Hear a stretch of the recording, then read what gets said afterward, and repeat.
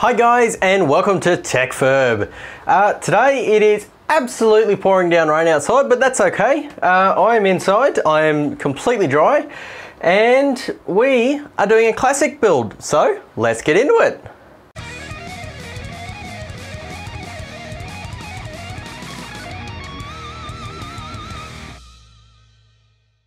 Okay, so classic build, what does that entail? Well, uh, it entails around about 10 years ago, uh, and this is actually quite depressing for me because 10 years ago, uh, what is now classic was when I first got into computers, so that's not depressing at all. But anyway, Parts we're sporting, so it's a return of the Q6600. Uh, that CPU just seems to be completely and utterly relevant in so many cases. Uh, again, pops up in this video because it was relevant in uh, 2007 and 2008, around that time when the Radeon HD 4870 was a thing.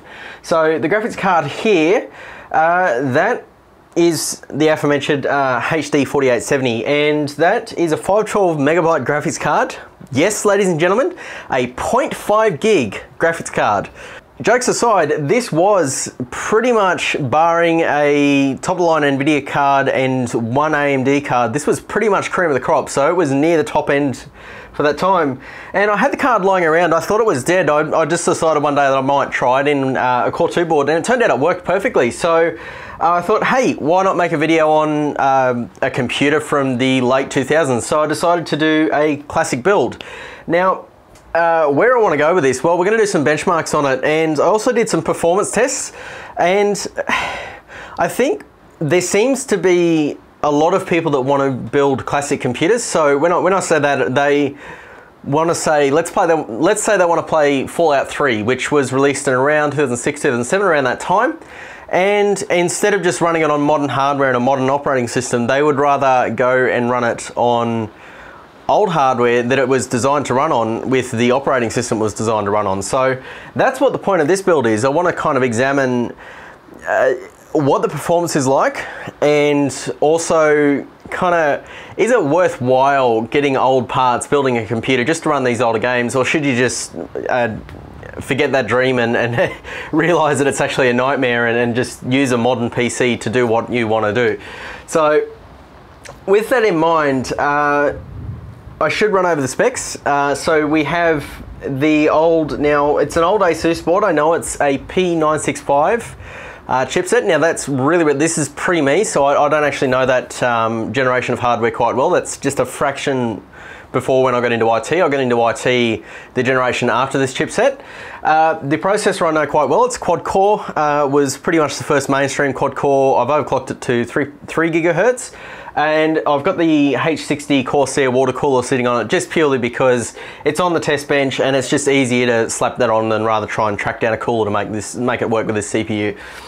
Uh, otherwise, ignoring the cooler and the motherboard and CPU, uh, power supply is my standard test bench, uh, 750 watt Thermaltake V2 light power.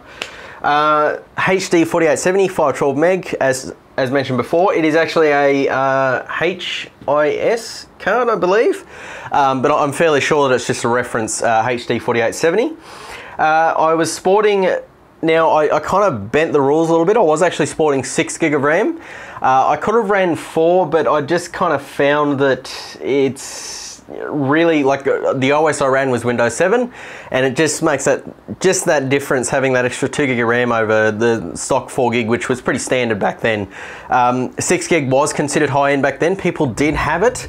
Uh, I remember having 6 gig in my, I had 6 gig in my computer in 2009, the very start of that year um, but that was incredibly high end for the time. So um, that's the RAM and hard drive was just a one terabyte from uh, I want to say early 2010s. Uh, but it, it's still a mechanical hard drive. It performs pretty much the same as any mechanical hard drive from the last 10 years. They haven't really improved much in that time frame. So that's the parts. Uh, why don't we jump into some benchmarks and then I can run over kind of what it's like uh, running with this experience. Okay, so uh, I managed to run five benchmarks. I tried to run a couple more. Uh, so first one was Borderlands 2, and I managed to get it to run at 1080p on low settings. So this game is from 2012, It's not super demanding. It does tend to run on pretty much anything. Uh, and it ran pretty well. So as you can see here, it averaged 57 frames per, frames per second, which is quite good considering the age of the system. Uh, it, its 1% lows were 27, uh, 27 frames per second and 0.1% were 19. Uh, I must note that it did very occasionally stutter, but to be honest, this game was absolutely fantastic and it felt quite fluid on uh, this GPU. Next game I got to run was Crysis, and amazingly I got this to run at 1080p low. Now this is the original Crysis, this was from the time that this game was released, so I do recall when this game came out, and if you tried to run it on high or, or any demanding settings, it just absolutely crushed any GPU.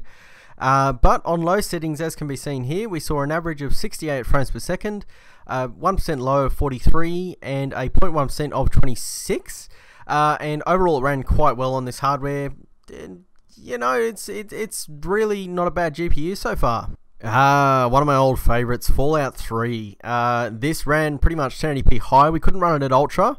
It did stutter a little, but 1080p high, uh, no problems. 59 frames per second average.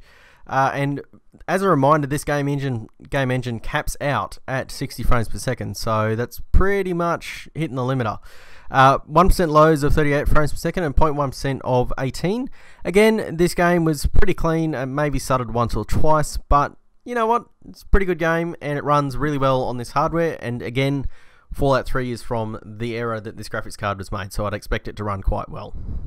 Skyrim, another favourite from around this era. This was actually a little bit after, released a little bit after when this GPU was released, but it runs on the same game engine as Fallout New Vegas, so a little bit more demanding than Fallout 3, but only marginally.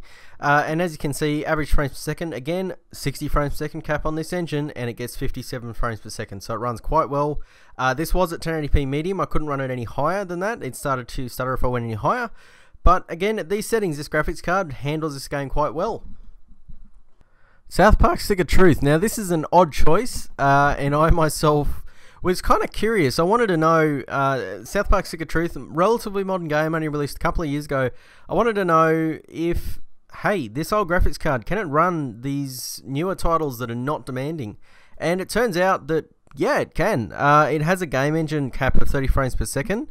Uh, 1% lows of 26 frames second and, and 0.1% lows of 12. It didn't really stutter. This game ran absolutely fantastic. It's a lot of fun. And it's good to see that this old hardware can actually still run titles that were made well after its use by date. So uh, that's good news for the HD 4870. Now, uh, the one kicker, here's the thing that kind of let down the... I guess it kind of let the GPU down. So I tried to run a couple of other games. I tried to run Battlefield 3. Uh, that game would not launch. I think it is to do with the software, not the hardware. Uh, there was a lot of forum posts uh, of Battlefield 3. It doesn't launch on some machines for whatever reason. It's just buggy software, and EA never bothered to fix it. Uh, having said that, I decided that I'd give Fallout, uh, ba sorry, Battlefield 4 a, a, try, and you go through maybe the first 30 seconds of the first mission, no problem, we're running okay. And then all of a sudden it uh, runs out of VRAM and the game hard locks and you have to quit and start again. So no Battlefield 4 benchmark, I'm very sorry. Uh, no resolution would fix that, and no low settings would fix that either, so it's just too new a game, too demanding of a game for that GPU. Uh, I also tried GTA 5, and GTA 5 pretty much just told me to get stuff. This graphics card's too old, I'm not even going to launch.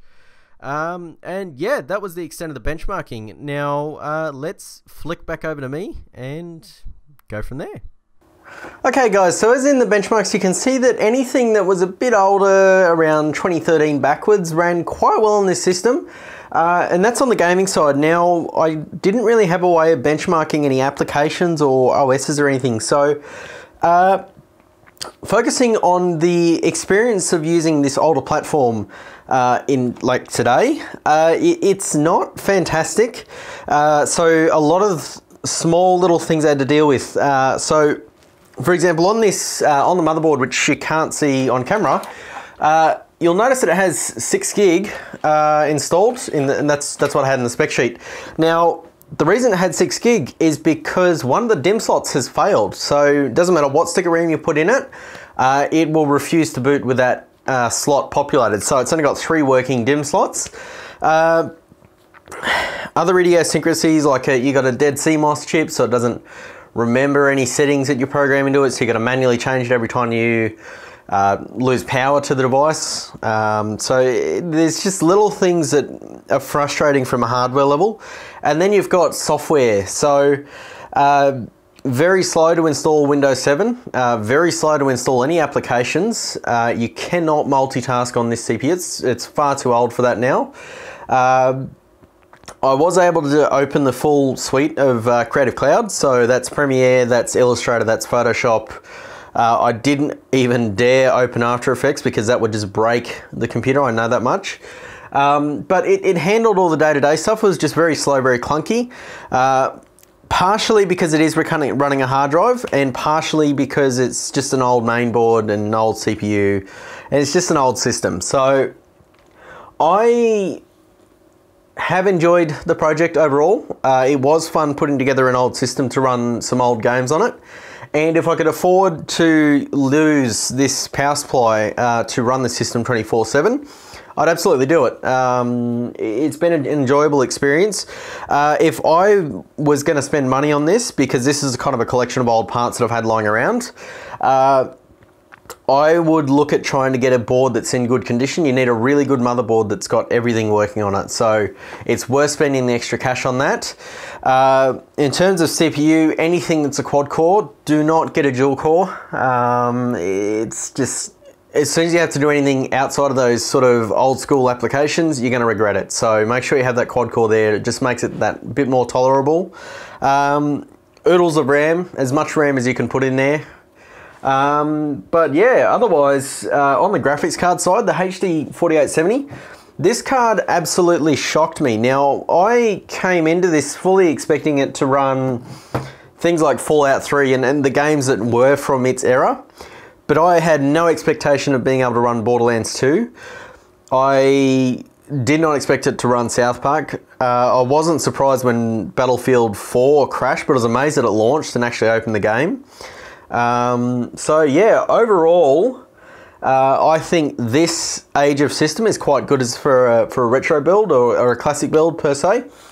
Um, and yeah, that's pretty much all I've got on this one, guys. Uh, thanks for watching. Uh, leave a like if you liked it. Leave a dislike if you disliked it. Uh, comments down below if you've got anything to say. Uh, TechFurb Forum. Uh, don't forget, guys, if you haven't signed up for that and you want to get in touch with me, ask me questions, that sort of stuff, uh, head over to the forums. I'll have a link down below and also have it somewhere in the video around here, around me. and of course, get subscribed if you want more content like this. And thanks for watching, guys, and I'll catch you in the next video.